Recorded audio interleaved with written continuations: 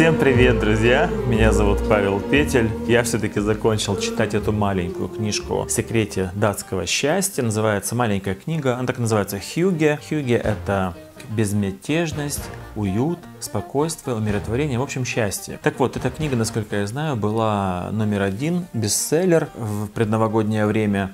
Хочу сказать, что очень много интересных секретов я здесь э, нашел. В частности, я узнал, что летом нужно много гулять на свежем воздухе, а зимой греться возле пледа рядом с живым огнем, свечой либо с камином и кушать вкусные пирожные. Это все очень секретная информация, которую мы не знали. Я хочу только одно сказать, что всем рекомендую эту книгу, потому что чтение этой легкой, доброй, позитивной, прекрасной, уютной книги и есть счастье. И я очень счастлив, что провел не один вечер перед сном, читая вот эту вот уютную книгу.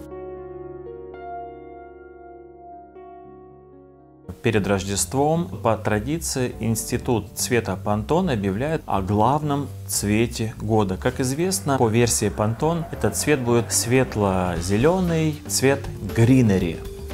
Я могу сказать однозначно, что эта весна, это будет какой-то невероятный ярко-зеленый наплыв. Уже сейчас, я уверен, Ikea или Zara Home печатают и штампуют э, миллиардными экземплярами зеленые чашки, светло-зеленые тарелки. Различные бренды, такие как H&M, готовят светло-зеленые оправы для очков, э, футболки, костюмы, пиджаки, туфли. Производители рады такому однозначному тренду, потому что он, прежде всего, все будет легко принят и действительно народ с легкостью наденет на себя какую-нибудь ярко-зеленую шляпу или ярко-зеленые очки и при этом будет говорить «это цвет года». Осенью и зимой этого года мы встретим в компании MAC ярко-зеленые помады, будут бегать модные ярко-зеленые Санта-Клаус. Что такое цвет гринери? Это цвет весенней зелени.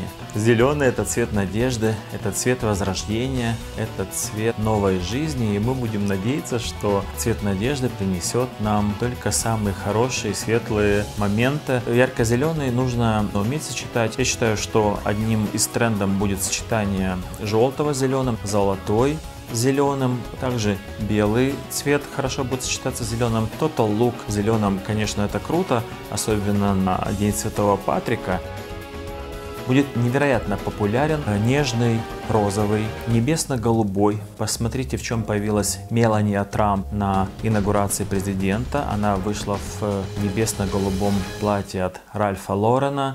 Главный цветок это все-таки будет кактус, эхиверия будет модно, монстера, тюльпаны, мускария, пионы. И я всем предлагаю не дожидаться, когда зелень появится за окном, покупайте цветы. Создайте светлую атмосферу возрождения и обновления в своем доме. Наслаждайтесь и предвкушайте весну. Не забывайте, что счастье это предвкушение чего-то прекрасного, а не ожидание чего-то плохого. Предвкушайте и будьте счастливы.